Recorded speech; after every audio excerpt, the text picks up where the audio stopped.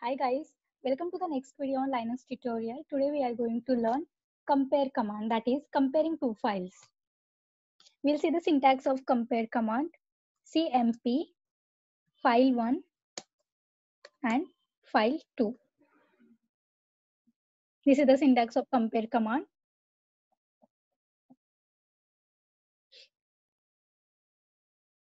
Now we'll compare two, two files. We have three files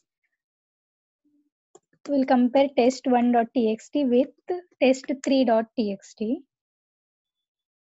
whose content are different. Now it will show both are differ by byte 1. The two files are compared byte by byte and the location of the first mismatch is echoed to the screen. By default, compare doesn't bother about possible subsequent mismatches, but displays a detailed list when used with hyphen L option. We'll see compare hyphen L option. So it shows detailed subsequent mismatch. If the two files are identical, then compare displays no message but simply returns the prompt.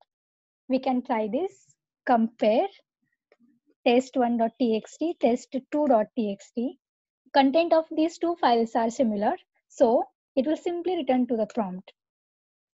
As of now, we are done with the compare command. Thank you guys.